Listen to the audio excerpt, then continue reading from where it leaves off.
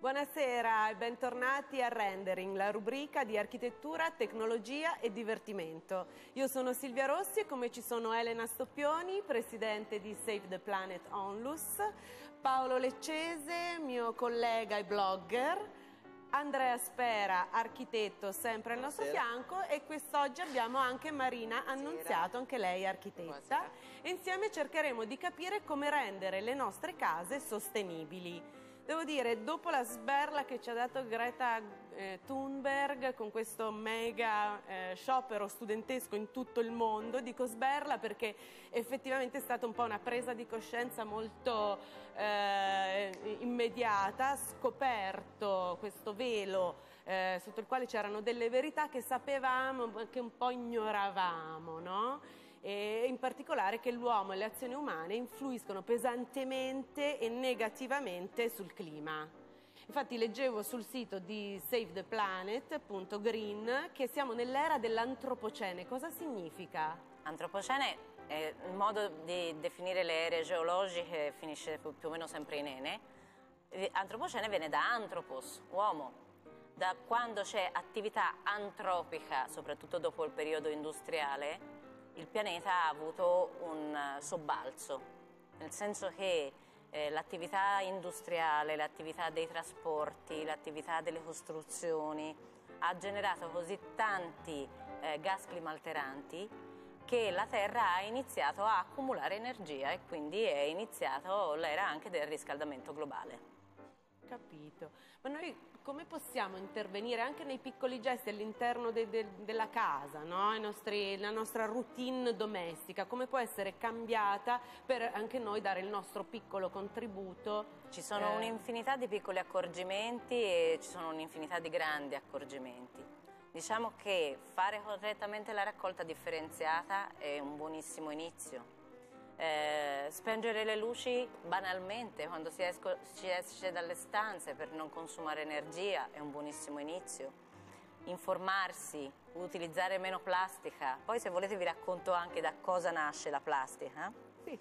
Eh, tutte sono azioni passare a, da energia fossile a energia rinnovabile, cercando di impiegare sempre più eh, mobilità elettrica piuttosto che inserire nelle nostre case contratti di energia rinnovabile, sono tutte cose che possono anche smuovere poi le istituzioni. La plastica sì. nasce per un motivo ecologico.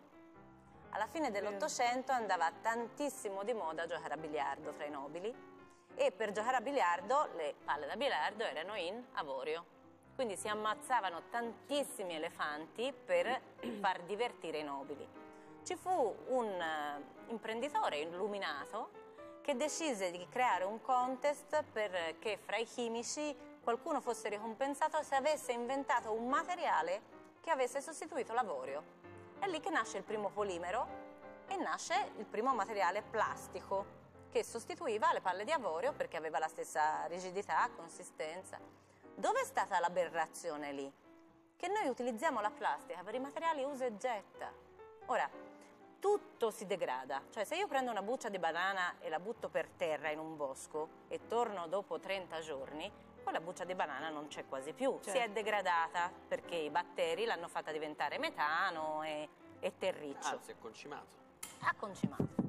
Se io butto un pezzo di carta e torno dopo 30 giorni lo ritrovo, se torno dopo 30 anni non lo ritrovo più perché ci mette di più. Se io butto un pezzo di plastica e torno dopo 500 anni, lo ritrovo ancora.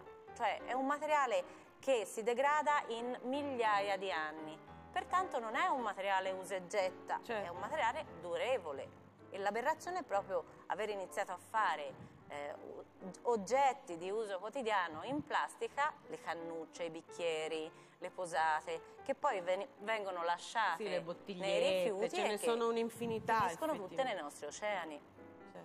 Senti, per ritornare alla casa, cioè hai detto le piccole cose che possiamo fare, quali sono invece le grandi cose che possiamo fare rispetto alla casa? Eh, rispetto alla casa bisogna considerare il processo produttivo, nel senso che ad oggi esistono certificazioni green per l'involucro, cioè esistono le certificazioni più comunemente denominate casa clima, GBC, LEED, che considerano la casa come se fosse un secchio bucato, nel senso che se io ho un secchio sotto un rubinetto e il secchio è bucato, il rubinetto è l'energia che metto nell'abitazione per scaldarla. Se il secchio è bucato, disperde, quindi dovrò impiegare sempre più energia. Le certificazioni sull'involucro servono a dire io ho riparato tutti i buchi del secchio, di modo che quella casa non disperde più e quindi è più sostenibile, è green, si impiegano anche materiali naturali.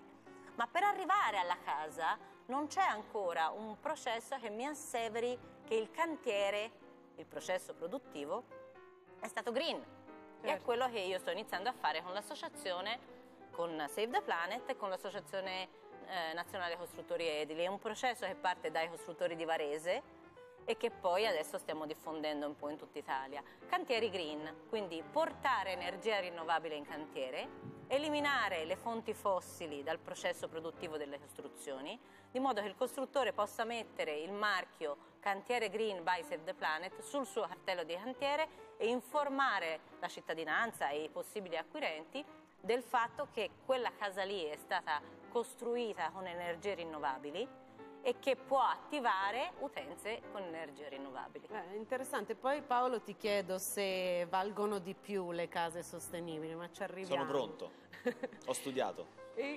Un'altra cosa volevo chiedere, in una città come Roma, dove ci sono palazzi storici che quindi non sono stati concepiti con questa eh, idea della sostenibilità ambientale, e questo lo chiedo anche a Marina e a Andrea, come si può fare in questi edifici storici a rendere le case sostenibili? Ma, eh, ti dirò che è più facile nell'edificio storico che nell'edilizia diciamo fra gli anni 50, 60, 70, nel senso mm. che le grandi pareti, le, le, le costruzioni fatte con tanto materiale hanno una buona base di... Perché trattengono, perché trattengono il calore che riparano dal caldo. Anche, esatto, immagino. sì, inerzia termica, cioè io lascio che il calore entri nella, nella mia casa, esempio classico d'estate, io vado via la mattina che c'è freschino, se non ho il climatizzatore durante la giornata torno che magari fa ancora un po' freschino, poi la notte arriva la botta di caldo in casa. Cosa è successo? È andato via il sole,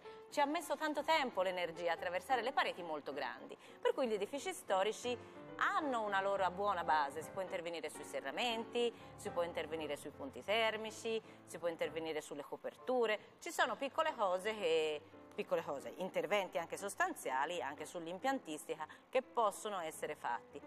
Tra l'altro su questo lo Stato già da un po' dà l'ecobonus, nel senso che è possibile detrarre dall'imponibile fino al 65% dell'importo della, della, ristrutturazione, poi c'è un plus addirittura sulle zone condominiali, sul, sulle zone sismiche, esistono anche degli strumenti. Eh, più difficile l'edilizia, quella diciamo così, del dopoguerra, perché lì ci siamo fatti fuori per motivi di spazio le grandi pareti, abbiamo tirato su un po' a, a, a mattoni e a forati e l'innovazione tecnologica ci ha messo un po' prima di capire che oltre a quei mattoni lì in faccia vista andava messo anche dell'isolante andava pensata la casa in un modo completamente diverso. E chiedo anche a voi se vi è capitato appunto di clienti che vi hanno chiesto la sostenibilità ambientale della casa e come avete... A chiederlo forse ultimamente sì, ma è molto difficile perché ehm, ovvio che l'elemento determinante è comunque il costo economico. Infatti volevo sia chiedere quanto chi, mi costa Sia per casa. chi realizza, cioè quindi il costruttore, certo. e quindi quando tu gli vai a proporre una tecnologia, una tipologia costruttiva, la prima cosa che mi risponde sì ma quanto mi costa di più cioè, certo. cioè, questo è il, rispetto certo. alla costruzione tradizionale al quale il costruttore è abituato e, ehm, di fatto però poi sto riscontrando che ovviamente gli nuovi immobili che sono comunque in classe A per non, non parlare della casa passiva ma insomma hanno ovviamente un valore molto più elevato in questo momento rispetto alle vecchie case che sono energivore, che consumano ovviamente tantissimo e quindi ovvio chi va, chi si approccia ad acquistare un nuovo immobile eh, comincia a guardare anche il fatto che insomma se, se spendo 500 euro l'anno per riscaldare la casa, una casa di, di 100 metri quadrati rispetto a una che magari ne devi spenderne 3-4 volte di più, se non ancora certo. di più, eh, comincia a essere un, un argomento interessante. È vero che bisogna poi saper intervenire invece sulle ristrutturazioni a, eh, ad un livello uniforme, quindi se faccio un cappotto termico devo intervenire anche sugli infissi, devo intervenire anche sugli impianti, devo pensare anche a poter eh, recuperare l'acqua piovana, cioè ci sono tante sfaccettature, il solare, il termico, per poter poi far diventare una casa, o quantomeno avvicinarmi ad avere una casa sostenibile. Marina, te hai... Diciamo che con le detrazioni fiscali dell'eco bonus la gente è più invogliata magari a una ristrutturazione e siamo anche noi professionisti che magari dobbiamo proprio proporre queste soluzioni diciamo, ecologiche perché le persone a volte magari non, non neanche ne sentono parlare.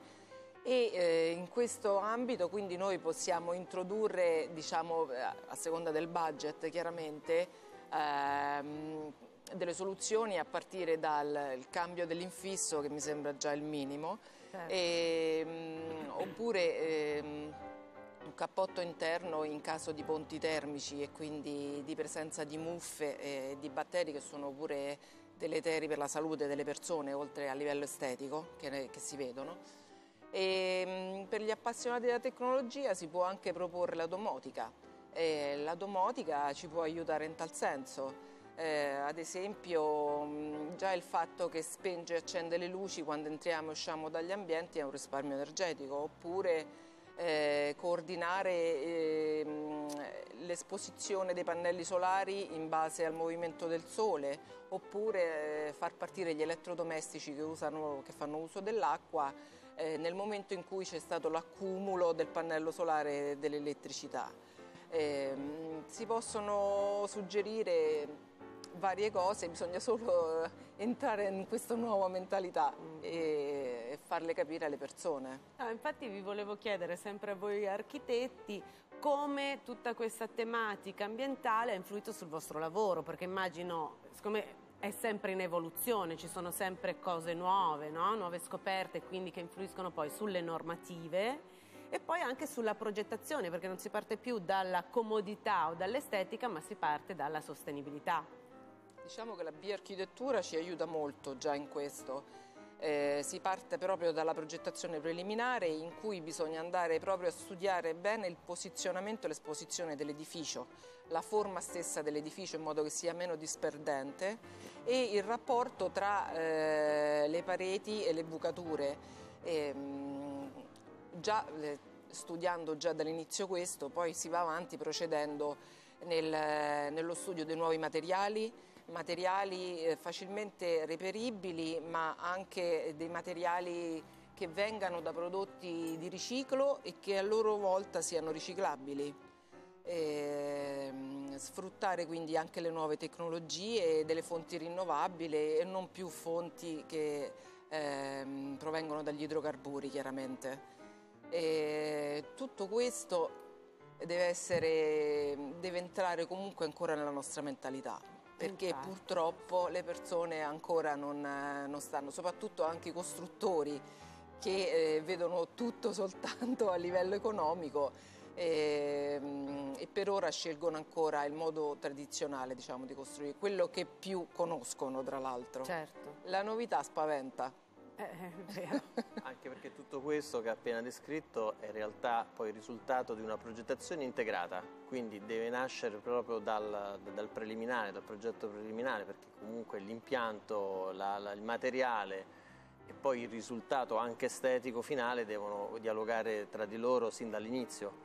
Quindi è impensabile che si possa realizzare una casa sostenibile a, a spizzichi e bocconi, certo, come si dice. Una camera sì e l'altra no. Oppure sì, oppure faccio fare il lavoro a un operaio, poi ne chiamo un altro, poi chiamo un'impresa, cioè, perché poi noi, insomma, la, la, realtà poi è anche questa, che si va a cercare di, di ragionare, cercare di, di, risparmiare un pochino ovunque, ma ehm, bisognerebbe guardare un pochino oltre, perché poi il risparmio vero ce l'hai una volta che sei riuscito a dare un equilibrio e un'efficienza all'immobile. Certo. E allora volevo chiedere a Paolo se ti è capitato eh, appunto di valutare di più un immobile proprio perché rispondeva a determinate caratteristiche di sostenibilità ambientale. Proprio in questa materia sono particolarmente formato mm. perché credo di aver, venduto, di aver venduto un cantiere a Roma tra i primi ad avere la, la certificazione Casa Clima, che Elena conosce molto bene. Eh, l'impatto che c'è stato sul mercato è stato dapprima, quindi tanto dipende dalla zona, ovviamente. Quando si costruisce in questo modo, e per lo più a Roma si costruisce solo in periferia, perché è difficile costruire certo. in una bella zona eh, centrale, centrale eh, la percezione del mercato è stata quella di sì, ma lì me lo vendono in classe B, ma questo è classe A4, certificato casa clima, sì, ma lì in classe B la stessa casa la pago 50.000 euro di meno. Eh, la fatica del venditore è quella di cercare di convincere che quei 50.000 euro negli anni li recupera con gli interessi nel risparmio energetico che avrà nella manutenzione eh, e nei consumi costanti che saranno molti meno rispetto a quello della classe B ma questo nell'immediato non viene percepito, comunque si fa fatica, quindi un po' di più sì, eh, però quando si parla di cappotto termico a Roma per lo più un ceto medio-basso dice non ne ho bisogno perché la parola cappotto è, è, a Roma fa caldo, capito? In, in, realtà quel cappotto serve, come mi spiegate voi tecnici, per il, soprattutto, soprattutto, per, per eh, il caldo.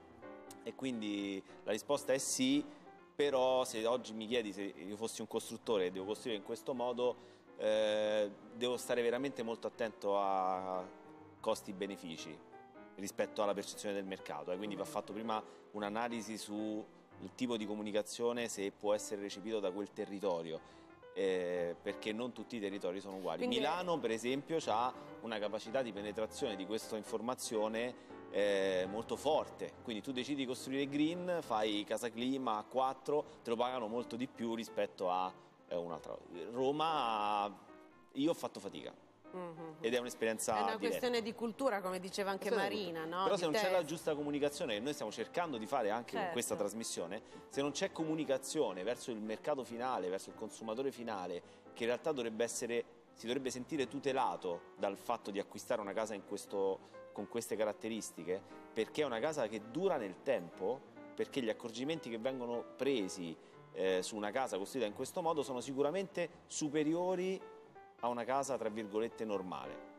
Anche perché poi ti troverai a, a doverli rifare, perché prima o poi eh, li dovrai sì. rifare, sei infissi, eccetera, eccetera.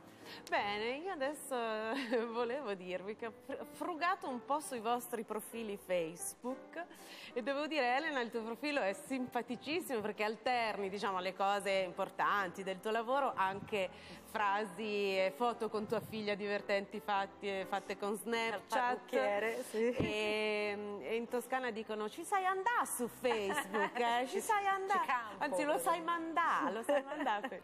e allora ho trovato alcune foto, vediamo la prima che trovavo simpatica, non so se ce l'avete, è una scritta con base, eccola, ho messo la testa a posto ma non mi ricordo dove. Questa te risvegliata. Sì, sono notoriamente una disordinata creativa, diciamo ah, okay. così, per cui da, da, dalla casa fino alla scrivania guardando si vede bene qual è il mio punto debole. Ho dei momenti di blackout per cui dovuti all'overbooking della roba nella, nella testa per cui questa è una cosa che chi mi conosce bene capisce subito. no, poi ho visto i commenti anche, anche, a me capita spesso, quindi sei in buona compagnia, diciamo. e poi ne ho trovata un'altra che ho trovato molto divertente, te devi fermare. e anche questo... questo mi sa che è a Roma. Questo è un omaggio a, a chi avevamo citato prima, cioè a Davide Michetti, eravamo in piena organizzazione di FIDEC e lui mi dice sempre, Elena, te devi fermare, non puoi continuare ad andare andare così. E allora gliel'avevo messa lì apposta. No, a me faceva ridere perché mia figlia quando è andata a abitare a Milano mi fa mamma qui ho capito che le strisce non sono solo per decorazione, qui la gente si ferma veramente. No, e poi ci avevo visto anche un, un po' un parallelo con il tuo lavoro, cioè adesso ci dobbiamo fermare e, e vedere, perché la regola c'è, eh, sì. le cose le sappiamo, dobbiamo solo agire in modo consono alla realtà. E invece Marina, nella tua, nel tuo profilo, questo forse l'ho preso da Instagram, eh, ho trovato questa foto, sei qui insieme a Chiara Cirinà che è la tua socia architetta, mi, però mi chiedevo, ma tutti quei divani, quelle belle sedie, perché vi siete sedute proprio per terra? Siccome mi occupo anche di homestaging, quello è stato il primo allestimento che abbiamo fatto insieme ah. e eh, siccome era molto bello l'allestimento sul divano non ci volevamo mettere sedute sopra per rovinarlo e allora ci siamo messe sedute a terra mettendo in primo piano la nostra opera.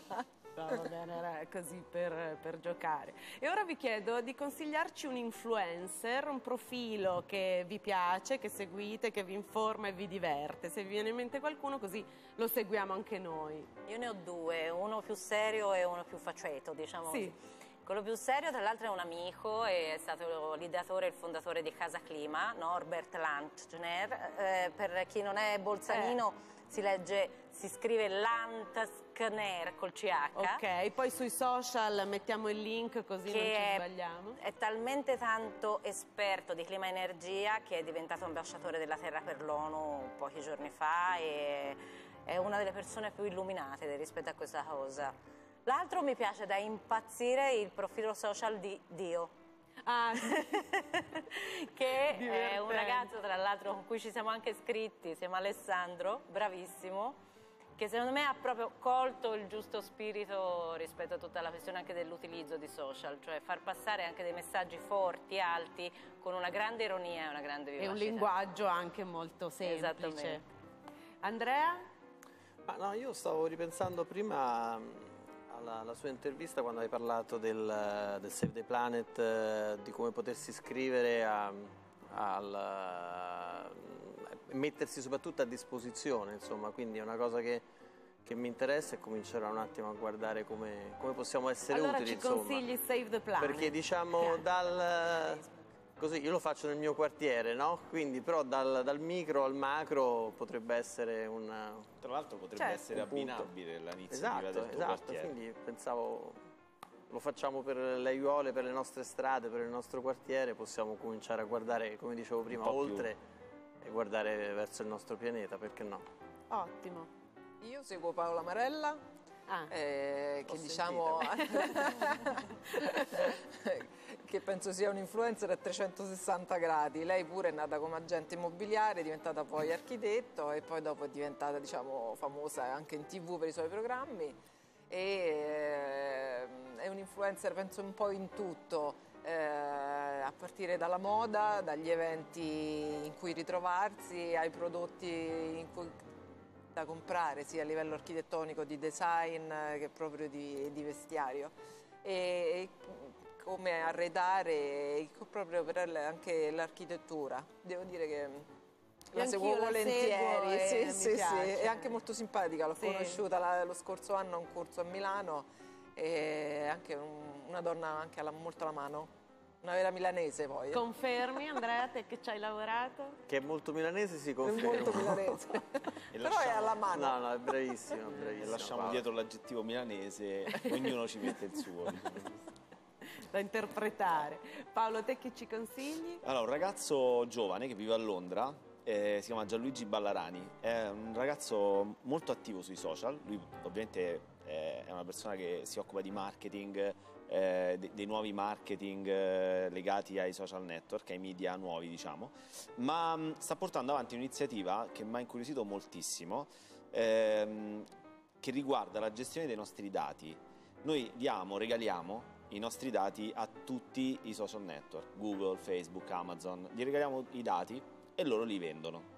Eh, lui ha avuto l'idea di, di creare un, un'azienda, perché è un'azienda, che vorrebbe lucrare su questo, ma lucrando lui farebbe lucrare anche il consumatore finale, perché in realtà ah. lui pagherebbe, ci pagherebbe i dati che noi diamo a lui, che poi a sua volta condivide con questi giants, questi giganti che hanno i famosi big data, no? E che loro chiaramente l'altro giorno Facebook è stata inoltrata una notizia che si è perso circa 2000 dati, cioè eh, sono diventati pubblici, seppur all'interno del loro circuito, chiari si dice, non criptati, i dati, email e password di circa 2000 utenti di Facebook e hanno detto vabbè però nessuno ne ha fatto un utilizzo, per ora nessuno ne ha fatto ancora un utilizzo sbagliato.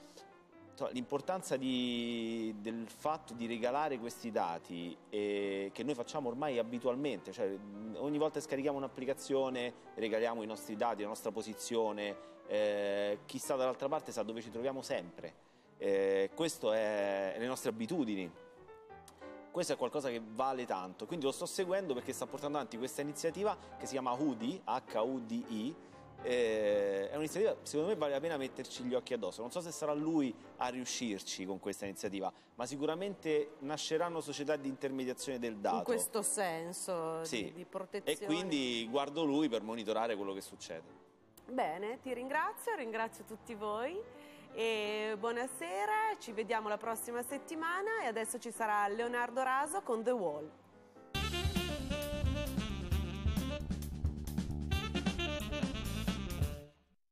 Hai deciso di vendere il tuo immobile, frutto dei risparmi di una vita? Prendi un appuntamento con un consulente di GSA Reagency. Riceverai una consulenza globale sulle strategie migliori per raggiungere il tuo obiettivo. Affidati alla professionalità del nostro team di agenti immobiliari che ti garantiranno un controllo preventivo e certificato sulla vendibilità del tuo immobile. Un servizio fotografico di altissima qualità e video a 360 gradi che resteranno tuoi per sempre. L'utilizzo di strumenti tecnologici all'avanguardia Italia, la condivisione con tutte le agenzie immobiliari d'Italia e molto altro ancora. Tratta bene il tuo immobile, risparmia il tuo tempo e dedicati alle tue passioni. Rivolgiti con fiducia a GSA Reagency al numero 06 833 61116 www.gsareagency.com Innamorarsi dell'Italia è inevitabile. Arte, buona cucina, paesaggi tradizioni locali, moda e artigianato. Vivere le eccellenze italiane è il sogno di ogni viaggiatore e alcuni fanno del bel paese la loro seconda casa. Gateway.com è la vetrina per gli operatori immobiliari che vogliono ampliare le loro vendite oltre confine. Con le sue 10 versioni linguistiche è lo strumento rivolto agli stranieri per orientarsi nel mercato immobiliare italiano. Gateway.com per vendere casa agli stranieri. Stay in Roma Apartments, il grande amore per Roma Stay Rome Apartments ti offre la possibilità di adibire la tua seconda casa come alloggio per locazioni turistiche. Stay Rome Apartments condurrà per te le attività di promozione e booking, un completo servizio di accoglienza, pulizie e noleggio biancheria, liberandoti così da tutti gli oneri gestionali. Visita il nostro sito internet www.stayinromeapartments.com e contattaci via mail info chiocciola stayinromeapartments.com. Saremo felici di parlare con te e aiutarti a scegliere la migliore soluzione per le tue esigenze. Stay in Rome Apartments, desiderio e passione di condividere insieme a te la storia e il fascino della città eterna.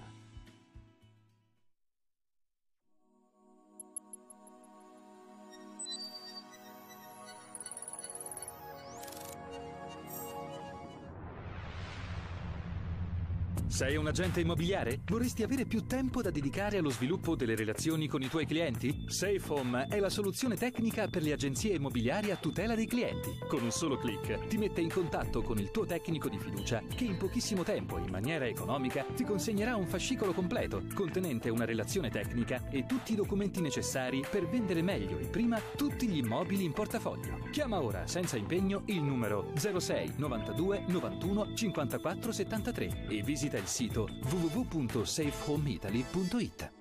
Ho sognato la nostra casa, bella, accogliente, immersa nel verde, con tutti i servizi e non è costata una fortuna. Non sognare a occhi aperti, i tuoi desideri con noi diventano realtà. Selvanera Village. Appartamenti di nuova costruzione, prenota la tua casa con soli 1000 euro e inclusa nel prezzo una cucina completa di elettrodomestici. selvaneravillage.it. A pochi minuti dall'uscita 3 del Gra, Roma, Selva Candida. 06 83 36 11 16. Selvanera Village village.it